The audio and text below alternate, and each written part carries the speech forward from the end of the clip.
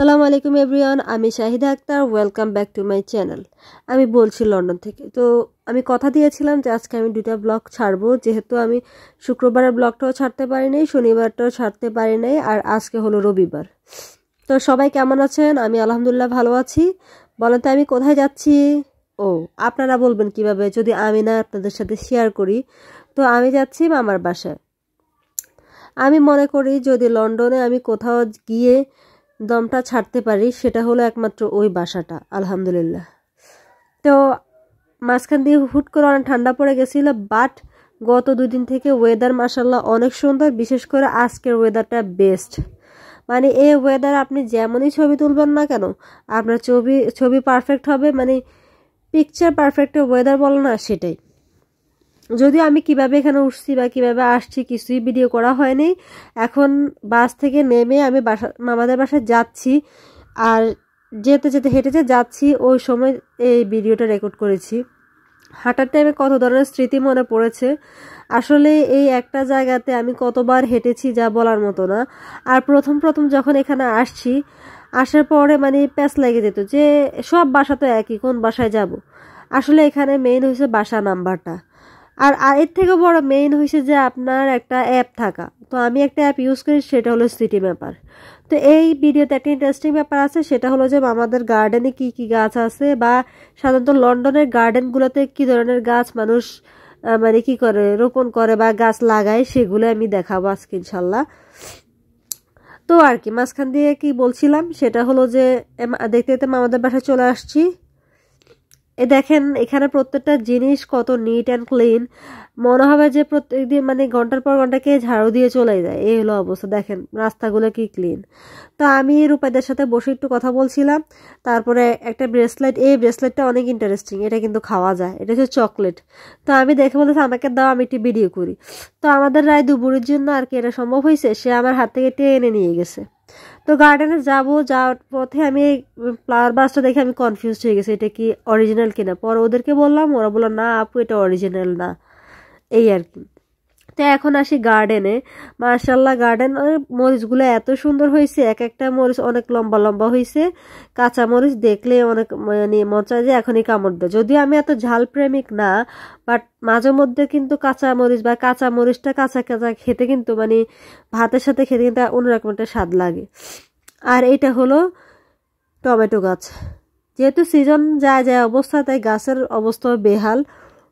আর plus মা আমার বিভিন্ন কারণে এবার আপনার গাছ দেরিতে লাগাইছে, তার জন্য মানে এবার একটু মানে গার্ডেনের ফলন একটু কম। কিন্তু মাসাল্লাহ গত বছর অনেক অনেক সুন্দর ছিল। আর এটা হলো এখানে একটা জুকিনি গাছ আছে মাসাল্লাহ দু তিনটা জুকিনি ধরেও আছে। এখান থেকে একটা জুকিনি আমরা খেয়েছিলাম, যথেষ্ট মজা পুরা লাউয়ের মতো। আর প্লাস ওই জুকিনিটা অনেক বড় সাইজের ছিল, একটা সুন্দর মানে লাউ লাউ ফ্লেভার কিন্তু লাউ থেকে জুকিনিটা একটু বেশি মিষ্টি হয় আর কি। আর এইটা হলো লাউ গাছ। আনফর্চুনেটলি এই লাউ গাছে এবার নাকি একটাও লাউ ধরে নেই। আর আমি যে ছিলাম তখন আমি লক্ষ্য করি নাই বা দেখি নাই এই গাছে, কিন্তু এবার নাকি নতুন এই গাছে ফুলগুলো ধরেছে। বাট কি গাছ এটা আমি আদৌ জানি না। আমার কাছে মনে হয় এটা কোনো ফ্রুটস গাছ। আর আর, আরেকটা কথা বলে রাখি, আমার অনেক বেশি ঠান্ডা লাগছে। কথা একটু অন্যরকম শোনাচ্ছে, সেটার জন্য আমি আগে থেকে সরি বলে নিচ্ছি। তো এসেছি এক কাজে বাট আরেক কাজ তো করে নিতে হয়। আমরা সাংসারিক মানুষ বা গৃহিণী মানুষের কত কাজ? এই হলো অবস্থা। তো এসেছি প্লাস বাজারে ব্যাগে নিয়ে আসছি, টুকিটাকি বাজার করে নিয়ে যাব।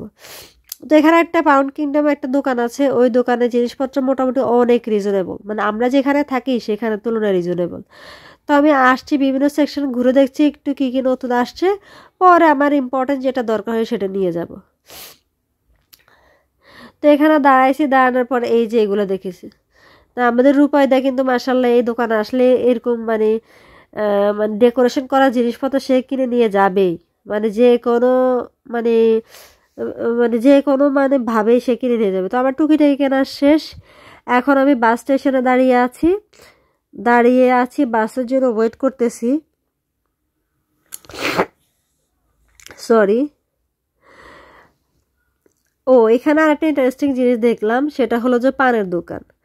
তো আমাদের মায়েরা বা যারা একটু বয়স্ক লোক, বয়স্ক আছে, পান খেতে পছন্দ করে, তাদের জন্য কোনো সমস্যা নেই, এখানে একটা পানের দোকান আছে। ওই যে দেখা যাচ্ছে পানের দোকান, পান শপ।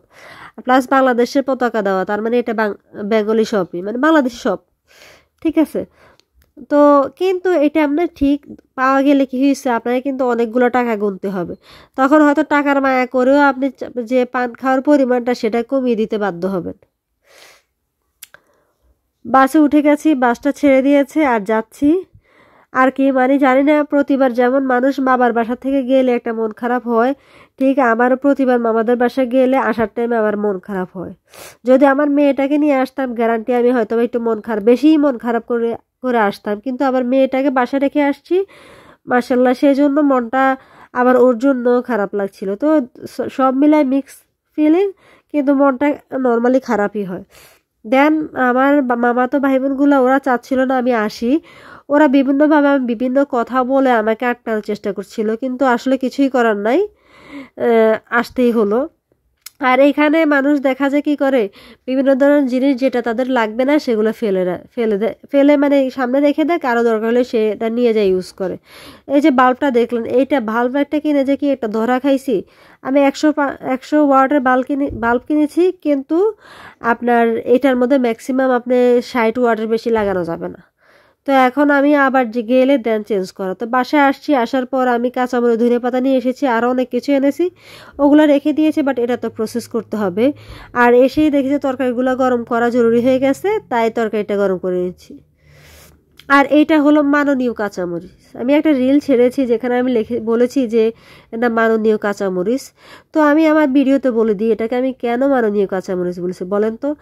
কাঁচামরিচের দাম এখানে অনেক বেশি। সেটা হলো যে আপনার, আমি যে কিনেছি কাঁচামরিচগুলো, এখানে এক কেজি কাঁচামরিচ নয় পাউন্ড ছিল। পর আমি কতটুকু এনেছি ঠিক আমার মনে নেই। প্রায় আড়াইশো গ্রাম কি তিন চারশো তিন চারশো গ্রাম হবে, আড়াইশো গ্রাম হবে না, একটু বেশি হবে, তিন চারশো গ্রাম হবে। তো আমি অর্ধেকটা ফ্রেশ খাব সেই জন্য ফ্রেশ কাঁচামরিচ খাওয়ার মজাই কিন্তু আলাদা। কিন্তু হ্যাঁ আমি ফ্রোজেনটা অবশ্য অলওয়েজই খাই। কিন্তু ফ্রেশটা যতদিন ফ্রেশ থাকে নষ্ট হয়ে আসার মুহূর্ত হলেই দরকার হয় ডিপে রেখে দিব। তো অর্ধটা ডিপে রেখে দিচ্ছি। তো যেটা ফ্রেশ সেটাকে আমি সুন্দর মতো মানে হালকা একটু পানি পানি ছিল, পানিটা শুকিয়ে দেন টিস্যুর ভিতরে সুন্দর মতো রেখে দিয়েছি। মানে বোটাটা ছাড়িয়ে, তাহলে বোটা যদি আপনার কাঁচামরিচের সাথে থাকে না, ওটা আরও দ্রুত নষ্ট হয়ে যাবে। আর যেটা ফ্রোজেন করব, সেটা মানে আলাদা একটা মানে পলিথিনে সুন্দর মতো ধুয়ে তার পলিথিনে রেখে দিব। আগে অবশ্য আমি কাঁচা কাঁচামরিচ ধুতাম না, কিন্তু এখন চিন্তা করি যেহেতু বরফই হয়ে গেলে, হয়ে যাবে ধুয়ে ফেললে আর কি। তো কিছু ফুল ফ্রুটস কেটে খাচ্ছিলাম আর মানে মানুষের কিছু মানুষ আসে না যে আপনি যতই করেন না কেন তাও আপনার বদনাম করবে। এখন আম আমার এত বেশি প্রিয়, যদি এটা আম ফল না হইতো, তাহলে এটা আমি খেতাম না। সত্যিকার অর্থে বাট আলহামদুলিল্লাহ। বললাম আরে আপনাদের সাথে শেয়ার করলাম। আর এ ওই সময়টা আপনাদের ভাইয়া অনেক বেশি রাখছিল কেন রাখছিল সে বলে যে, আমি চিন্তা করতেছে, কীভাবে বাজার সদাই কমাবো? তুমি খালি বাজার করো, খরচ করো, সব শেষ করো। তো পরে আমি বললাম, পরে আমি চুপচাপ ছিলাম, কারণ আসলে কি, পুরুষ মানুষ যদি হাতে টাকা না থাকে, তাহলে তাদের মানে ব্যবহার একটু চেঞ্জিং থাকে। পরে আমি বলছি, আর যে ও টাকা নাইতে পরে হেসে দিচ্ছে, আর কিছু বলে নাই। এই হলো অবস্থা। তো রাতে তেমন কোনো তরকারি ছিল না। তো সেজন্য আমি মিষ্টি কোনো ভাজি করে নিয়েছি। আর ওই যে পিৎজা পিৎজা একটা বানিয়েছিলাম, সেটা আমরা সকালে খেয়েছি। রাতে তো খেয়েছি, সকালে খেয়েছি নাস্তা, এখন আবার দুপুরেও পিৎজা, পিৎজার লাঞ্চ এই আর কি। তো চা বানিয়েছি। তো এই একটা যে অসাধারণ ফিলিংস যে নিজে পুদিনা পাতা গাছ লাগিয়েছি, কিচেনের মধ্যে আছে, সেখান থেকে দুটো পাতা ছিঁড়ে দেন, আমি চায়ের মধ্যে দিয়ে দিয়েছি। এটা ধুয়ে নিচ্ছি, ধোয়া তো লাগবে তারপরে চায় দিয়ে দিয়েছি গরম গরম চায়ের মধ্যে। পানি একটু ঢুকে গেছে, এই হলো অবস্থা।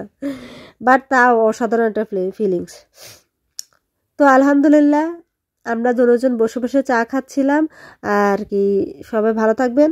আমাদের জন্য দোয়া করবেন। আজকের মতো আল্লাহ হাফেজ। পরবর্তী ভিডিও দেখার জন্য আমন্ত্রণ রইল।